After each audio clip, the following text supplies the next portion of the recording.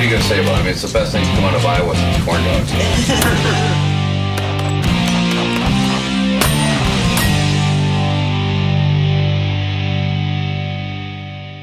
All right, we're going to be looking today at the Dan Wesson ECO chambered in 45 caliber. Now, I'm very partial to this gun because this one actually is my each and everyday carry gun. And you know, a lot of things for me go into the idea of what gun do I want to carry. And a big part of it, I need that gun, I want that gun to be able to draw fast, but I want it to be able to shoot extremely well. This is a 3.5 inch barrel, and, and if you've ever shot a 3 inch 45 and thought it was really snarky, you'll be surprised how much of a difference that half an inch makes. Um, the gun definitely has a hard hand feel, but nowhere near as sharp as a lot of other guns. I still still think it's extremely manageable. They put a big bull barrel on it. They have great checkering on the gun. It's very comfortable, very fast, and very accurate. I was really excited about this gun when, when Dan Wesson came out with this at SHOT Show a, a few years back it was kind of the beginning of the end for a, a, different member of, of my 1911 collection. I had an officer sized gun for a long time and I carried it for a long time.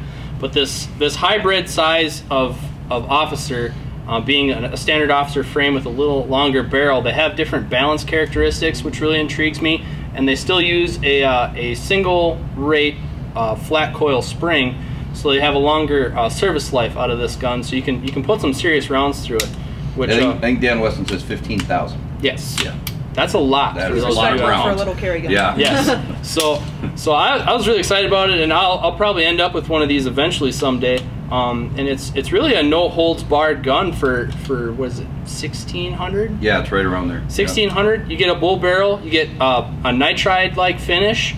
Um, really good grips and excellent trigger. This is uh, this is really a really solid gun for me. I was really excited to shoot it, and uh, I was really happy with the results. It's it's definitely a, a sweet shooter. Okay, so um, yeah, I've been dying to try this too. I mean, Mike's been carrying this since I've known him, and um, and I've wanted to know why. So uh, go ahead and watch the footage of me shooting real quick.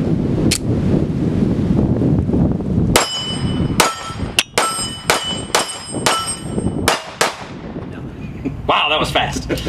All right, so um, eh, the, when the first round goes off on this gun, uh, I don't know if we can see it for sure in the video, but um, I, I, was surprised by it, mm-hmm. and and, uh, and, it was yeah. I had a lot of a lot of uh, recoil out of it, a lot of muzzle flip for me.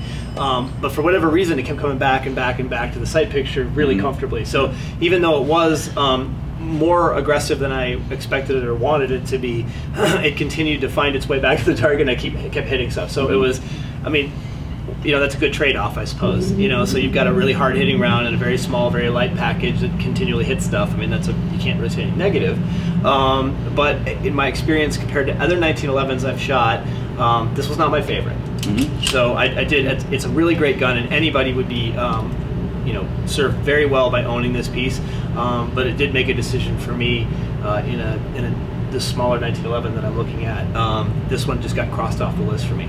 I will still give it uh, probably. I'll still probably give it a thumbs up. I got to think about that when Kate talks, but um, yeah. There's, there's, also a nine millimeter nine millimeter. Yeah. That well, that's that's what I was going to bring up. Um, you know, I, I think if I was going to get this gun, I'd be getting the nine mil. And and like Mark, that first round going off was kind of a shock.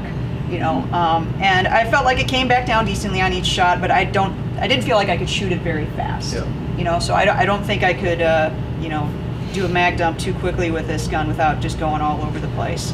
So for me, it would have to be the 9mm version. I also had a failure to feed on it, but um, that was with some, some full-size mags. And, yeah, and that and that has been a consistent experience with me with this gun is with the longer magazines, uh, failure to feed has been a pretty common issue with it. And with Wilson mags and with really quality magazines, mm -hmm. I don't think this gun likes anything sticking out of its tail. And so, Who we've does, seen that across, right? Seen that across other platforms yeah, too, as well. Bet, not, not just 1911s, not just this one. Yeah, a lot of times when you start running extended magazines, you know, the, it just doesn't balance well. It doesn't it doesn't hang well, and, and so you end up with feed problems, and hmm. that definitely happens with this gun for sure. I really do like a lot of the features that they put on this gun. They, they do a lot of things on this gun that you don't see outside of typically outside of the mm-hmm. high-end custom house 1911s. I mean, they have the tri-cut slide, so you've got these nice angles on the side, serrated top of the slide ball and mill cuts. I mean, it's it's just a lot of really nice features that you know you don't expect uh, on, you know with a gun that costs less than two grand. So Which is, which is really what cool. Dan Wesson's built their, their name on is giving you semi-custom features at, Yeah. a, at a production price. So Yeah.